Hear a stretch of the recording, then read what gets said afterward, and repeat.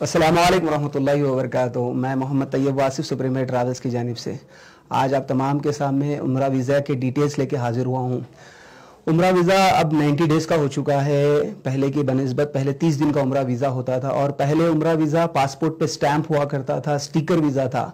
अब इन दिनों में उम्रा वीज़ा ई वीज़ा है, ऑनलाइन से आता है और पासपोर्ट ओरिजिनल पासपोर्ट की भी ज़रूरत नहीं है। आप व्हाट्सएप पे या ईमेल पे भेज सकते हैं। पहले उम्रा वीज़ा पे जद्दा जाना ज़रूरी होता था, अब जद्दा नहीं। आप जद्दा, मदीना, ताइफ, याम्बू कहीं पे भी लैंड हो सकते हैं, वापिस किसी भी एयरपोर्ट से आ सकते हैं। सऊदी अरब के जितने एयरपोर्ट है, उस, उतने एयरपोर्ट में से कहीं कौन से भी एयरपोर्ट से आप वापस आ सकते हैं। उम्रा वीज़ा की जो एज है अब ज़ीरो जो न्यू बॉर्न बेबी से लेकर डेढ़ साल के बंदे कोई भी उम्रा वीज़ा लगा सकते इस साल उम्रा वीज़ा में जो रूल्स में चेंजेस आए हैं, महरम की ज़रूरत नहीं है। सिंगल लेडीज़ को आप पाँच, छह, आठ, दस, पंद्रह, बीस, जितने भी सिंगल लेडीज़ वीज़ा लगाना चाहते एक साथ ग्रुप बना के उसका वीज़ा लगाया जा सकता है, उसके लिए महरम की ज़रूरत नहीं है।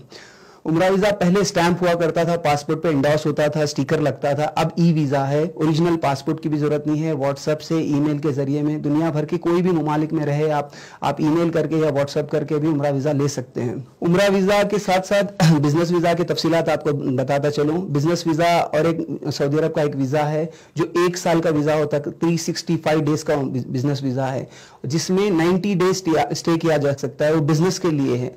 बिज़नेस वीजे के साथ साथ और एक टूरिस्ट वीज़ा भी है। टूरिस्ट वीजे में पूरे साल भर का वीज़ा लगेगा, मगर आप सिर्फ़ 90 डेज़ में स्टे कर सकते हैं। और इसके साथ आपका जो फैमिली जो भी आपके भाई भाई फैमिली मेंबर्स बेड रिलेशन कोई भी किसी को भी वीज़ा भेज सकता है। उसको बोलते हैं फैमिली वीज़ा स्टैंपिंग वो भी फैमिली वीज़ा स्टैंपिंग भी दस बारह हज़ार रुपए तक हो सकती है।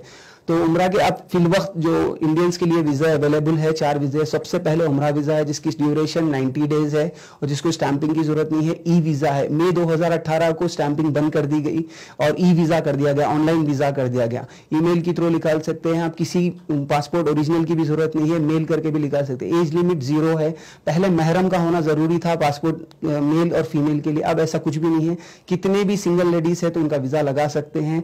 तो रिस्ट्रिक्शन बिल्कुल कम हो चुके हैं फैसिलिटी फैसिलिटीज़ बढ़ चुकी है। कंप्लीट 90 डेज़ स्टे कर सकते हैं आप। कहीं पे भी सऊदी अरब में उम्र वीज़ा लेके आप कहीं पर भी जा सकते हैं।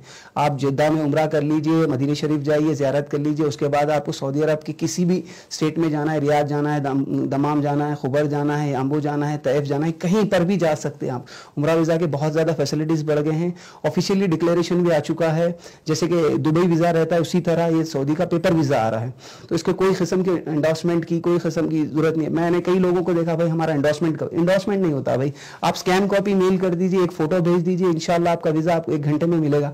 कम से कम वक्त है वर्किंग डेज़ में किसी इमरजेंसी केस में एक घंटे में वीज़ा निकाल के दे सकते हैं, या नहीं तो कम से कम एक से दो दिन लगेंगे। वर्किंग डेज़ की बात करूँ, रात में नहीं लिख लेगा, आठ बजे के बाद नहीं लिख लेगा। वर्किंग आवर्स में किसी की इमरजेंसी है तो इनशाला हम उनको हेल्प करेंगे वन आवर में वीज़ा निकाल के देंगे। ये उम्र वीज़ा से जो फैमिलीज़ शॉर्ट में जाके आना चाहते हैं थ्री मंथ्स में हॉलीडेज में बच्चों को लेके जाना चाहते हैं विदाउट एनी प्रॉब्लम आपकी पूरी फैमिली का वीज़ा लग सकता है।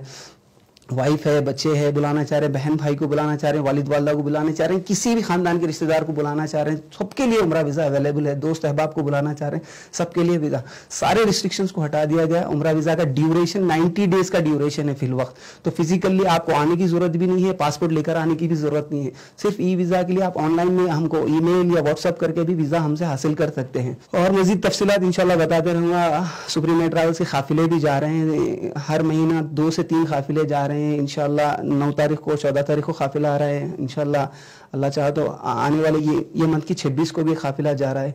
कई काफिले सर्विसेज़ में इम्प्रूवमेंट ला रहे हैं और भी मजीद कोशिश करेंगे। इनशाला वीज़े के अलावा भी सऊदी अरब के और भी वीज़े आने वाले हैं टूरिस्ट वीज़ा भी आने वाला है। इसके बाद फिर मैं इनशाला आप तमाम के सामने हाजिर होंगे और इसके इतला देते रहूँगा। जजाकल्ला खैर। असल वरहमल वर्का